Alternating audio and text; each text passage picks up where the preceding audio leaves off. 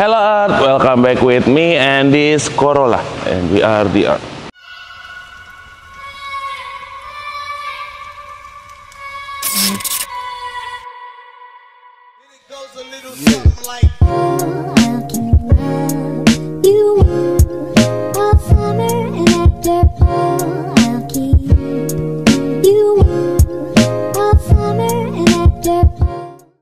Udah matching banget kali hari ini ya. Mobilnya biru, baju gua biru. Nah ini salah satu premium collection dari Art Industry. Ada ini yang biru, ada yang hijau juga. Terus ada yang abu juga, jangan lupa dibeli ya. Biasa, iklan dulu dikit. Ini ada Toyota Corolla tahun 85. Yang mana ini tuh kalau dibikin dua pintunya itu tuh AL85 kali ya. Soalnya habis itu AL86 Levin, ini sebelumnya gitu. Karena ini ada yang dua pintu dan lucu ya mirip gitu belakangnya kayak mirip-mirip lampu belakang ini nanti kita lihat. Eh, boleh komen di bawah daripada gue dibilang sotoy. Ini Toyota Corolla AE apa? kan ada AE 1111, AE86, AE85, AE AE itu ya begitulah. Nah, bantu komen ya kalau gue daripada salah nih. Pokoknya ini tahun 85 kata orangnya. Terus kemarin datang, ini orang restorasi mesin satu tahun. Gimana jadinya? Awalnya tuh dia beli, terus pengen mobilnya buat di restorasi ke sini. Terus satu itu kita bilang kan, ini mesin harus gini gini gini giniin. Terus orangnya, yaudah deh mas, saya mau servis mesin sambil jalan. Akhirnya dia coba-coba tuh sampai ke Surabaya, ke mana. Nih mobil udah sampai ke Surabaya dibawa jalan. Akhirnya karena kemarin itu si mesin masalah terus, akhirnya dibikin ecu nih mesinnya. Jadi mesinnya udah pakai ecu dan udah nggak kayak biasa lagi gitu. Oke mesinnya udah diecuin, udah diganti ecu, terus udah dibikin injection. Eh, yang tadi ini karburator. Terus tadi eh, untuk detailnya nanti mungkin pas udah jadi kita bahas sama ownernya, kita ownernya suruh datang. Halo. Terus eh, buat mesin ini mobil pokoknya udah kelar ya. Sayangnya waktu itu pas lagi dia turun mesin harusnya ngerjain sih body, cuman dia gatel. Pokoknya mesin jadiin dulu, dia ganti-ganti bengkel sampai berapa kali tuh. Eh, akhirnya waktu itu kan kita penawarin swap ke blacktop ya. Orangnya nggak mau, pengennya tetap mesin ini. Akhirnya dia coba-coba bengkel, ketemu setelah satu tahun.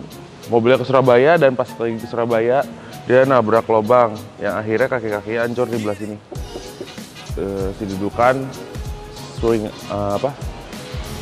Dudukan tie rod bawah yang ke sasis itu rusak jadi dia rada oblek balok depannya.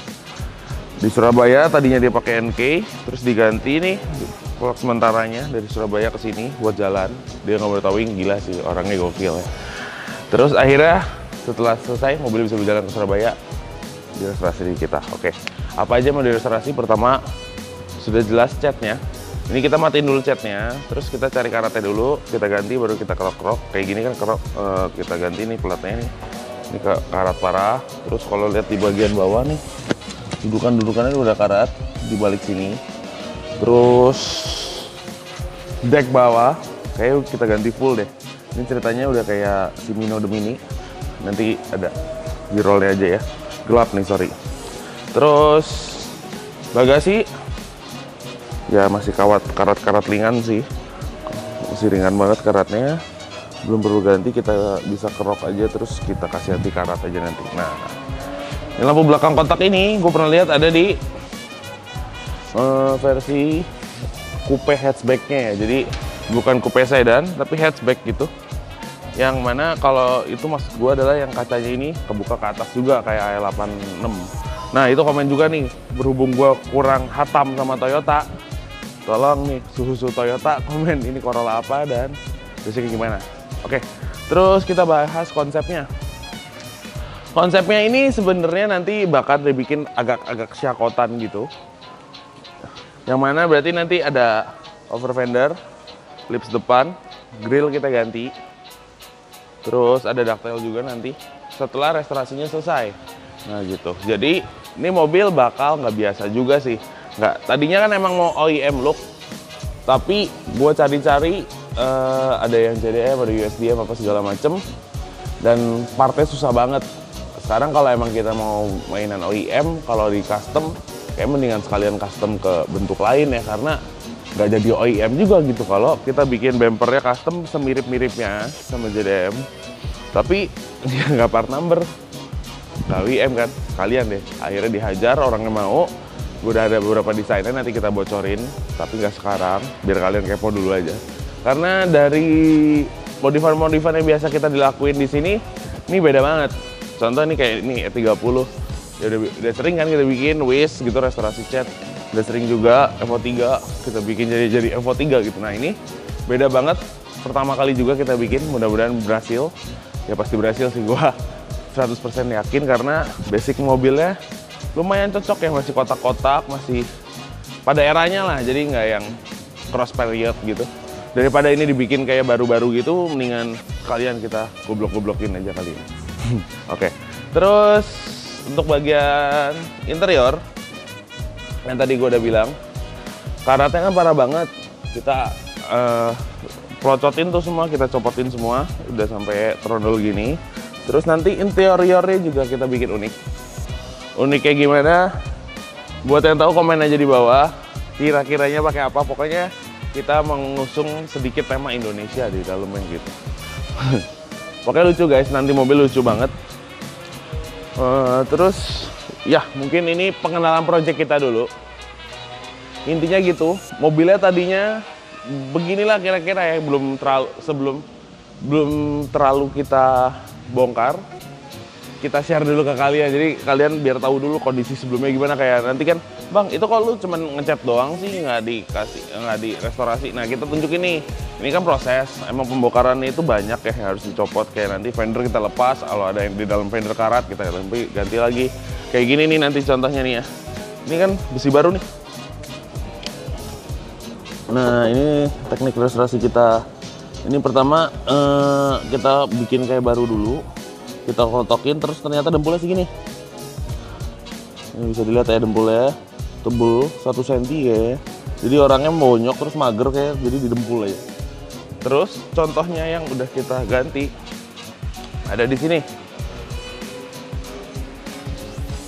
Nah, ntar gua ambilin dulu guys.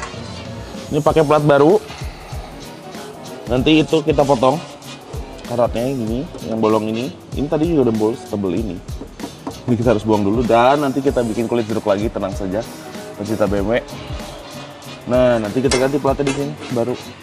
Jadi, kalau yang namanya karat itu nggak bisa, misalnya karatnya di sini kita ganti yang ininya doang nggak bisa. Karena ini udah ada bumbu-bumbu karatnya atau calon-calon karat, kita potong lebih dari atasnya itu yang udah agak jauh dari si karatnya sehingga si biang karatnya ini udah hilang terus kita ganti baru jadi nggak bakal karatan lagi karena nantinya di anti karat tentunya gitu jadi pokoknya gitu intinya ini mobil bakal kayak baru lagi sooner or later tapi orangnya kita lagi deal-dealan juga di bentuk-bentuk lain Pokoknya kalian komen aja di bawah biar gue bisa lebih hatam juga. Ini Toyotanya harusnya gimana. Terus kalau syakotan itu gimana? Kita discuss bareng aja guys. Biar di mobil mateng banget ntar ya. Terus pelek juga ntar ganti lagi pakai produk Jepang pokoknya. Komen juga di bawah. Menurut kalian pakai pelek Jepang apa? Yang pasti nggak OEM. Tadinya kalau OEM kan mungkin pakai TRD gitu ya. TRD TRD yang ring 13-14 gitu yang selong gitu kan ada tuh ya setahu gua. Nah, tapi nggak pakai itu sih. Ada pokoknya ya per NK-an lagi sih. Tapi lucu banget pasti ya. Terus ya pokoknya dibikin serapih mungkin sakotan dan nggak sampai bososoku ya. Jadi lebih ke apa ya tuner-tuner. Kalau kalian lihat mobil-mobil i86 nya SNL Vis gitu, ya mirip-mirip sana lah. Jadi over fendernya yang semacam-semacam kayak fumeran gitu, yang baut-baut gitu, over fender kecil gitu. Depannya juga lips-lips yang ya agak maju ke depan.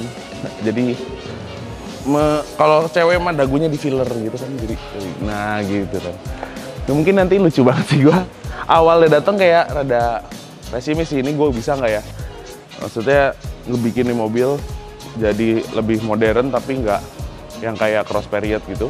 Untungnya ketemu sih gayanya karena setelah gue cari-cari ada nih kakaknya si AL85 kalau nggak salah ya. Pokoknya sebelumnya AL86 dia lebih kecil dari H86 dan lampunya kayak gini jadi mungkin sedikit gaya bisa dimasukin ke sini oke pokoknya komen aja jangan lupa jangan lupa subscribe juga bantuin kita biar lebih semangat lagi eh, buat bikin konten-konten kayak gini dan jangan lupa juga kita punya lima Instagram linknya ada di sini Pokoknya kita lagi banyak promo di Instagram Earth Generation Store dan Earth Industry langsung kepoin aja.